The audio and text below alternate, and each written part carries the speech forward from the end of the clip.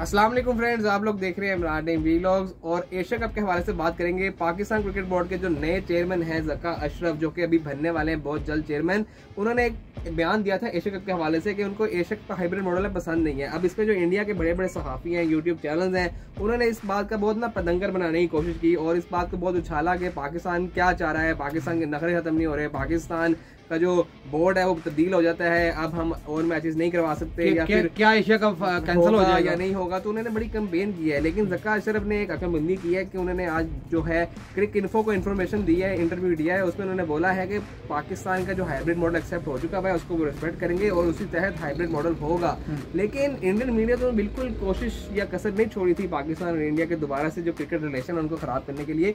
जिस पर ए ने भी एक बयान दिया उन्होंने भी बोला है कि जो एशिया कप का स्केड्यूल है, वो उसी तरह बरकरार रहेगा। इसमें पीसीबी की भी प्रॉपर सपोर्ट हासिल है उनको तो एक छोटी सी आग लगाने की कोशिश थी ये इंडियन मीडिया की, जो कि फेल हो गई। नहीं टाइम से इन्होंने इसको क्लैरिफिकेशन देकर बड़ा अच्छे तरीके से उसको हैंडल कर लिया। बात ये थी कि उन्होंने ये भी दोबारा से बताया कि ये मेरी पर्सनल ओपिनियन अभी भी वही है कि हाइब्रिड मॉडल मुझे नहीं पसंद इसमें हमारा जो है ना गेन हमें कुछ भी नहीं हुआ, हमें कुछ हासिल नहीं हुआ, लेकिन मैं ऑनर करूँगा हमारा जो लास्ट बोर्ड के जो चेयरमैन है, उन्होंने जो कमिटमेंट कर दी हुई है ए और एशियन क्रिकेट काउंसिल से तो उसको हम ऑनर करेंगे और एशिया कप एज प्लान और एज हाइब्रिड मॉडल के हम करवाएँगे।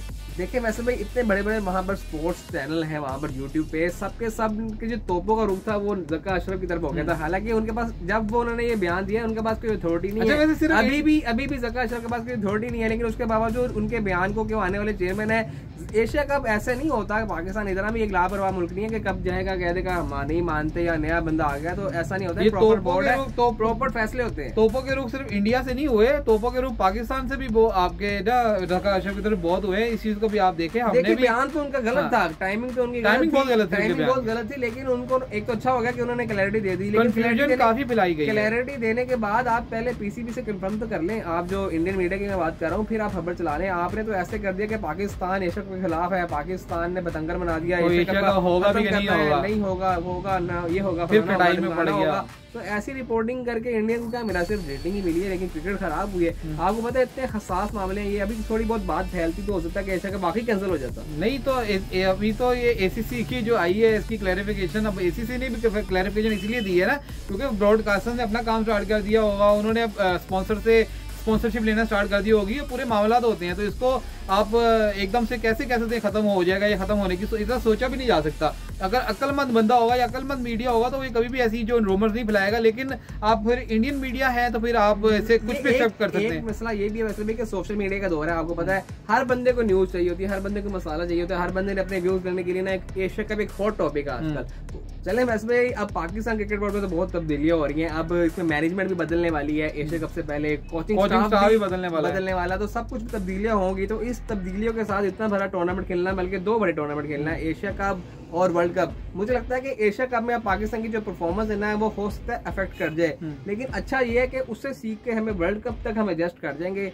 लेकिन अलग करे एशिया कप में अच्छा खेले पाकिस्तान। लेकिन जिस तरह के हालात बने पड़े ना अब पूरी मैनेजमेंट चेंज होने वाली है। दुआ पता है पाकिस्तान क्रिकेट टीम के अंदर एक उन्होंने एक और बयान दे दिया जका अशरफ ने कि मैं बाबर आज़म को सपोर्ट करता हूँ एज अ कैप्टन अच्छा हुआ उन्होंने ये कह दिया कि मैं सपोर्ट करता हूँ। अगर कह देता कि हो सकता है हम देखेंगे कैप्टन हम्म। तो वो भी एक पंडोरा बॉक्स खुल जाता। हम्म। तो लेकिन बड़े मामला खराब है। लेकिन आप दुआ करें कि मैनेजमेंट में चेंजेस हो और कोचिंग स्टाफ में चेंजेस हो टीम में चेंजिंग ना हो क्योंकि टीम जो है ना जो बन चुकी हुई है ना एशिया कप और वर्ल्ड कप तक टीम में ज़्यादा चेंजिंग हो उछाड़ पछाड़ ना करें। इसमें आप ना इनके हाथ जोड़ लें क्योंकि टीम को अब अनसेटल करने का टाइम नहीं रह गया। टीम आपने जितने आप जो जो लड़के खेलते आ रहे हैं अब आपको चार लड़के नए वर्ल्ड कप या एशिया कप में ले आए और एकदम से उनको बोले कि इतने बड़े टूर्नामेंट परफॉर्म करो तो ये करना भी मुश्किल हो जाता है। तो आप टीम में चेंजेस कम से कम करिएगा। आप बाय फोर्स आपकी मैनेजमेंट तो चेंज हो रही है। इसके आपको कुछ नहीं किया जा सकता। आपको सराहत देखने को मिल जाएँगे। अभी श्रीलंका का टूर हुआ है उसमें काफ़ी बातें हुई है जो नई आने वाली मैनेजमेंट है जिसमें हम्म। आमिर सहेल भी शामिल है। उन्होंने बड़ी तनकीद की है। उन्होंने बोला है कि आपके पास इतने अच्छे यासिर स्पिनर है